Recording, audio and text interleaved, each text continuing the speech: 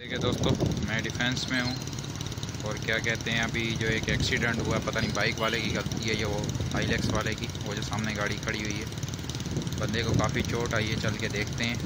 ठीक है?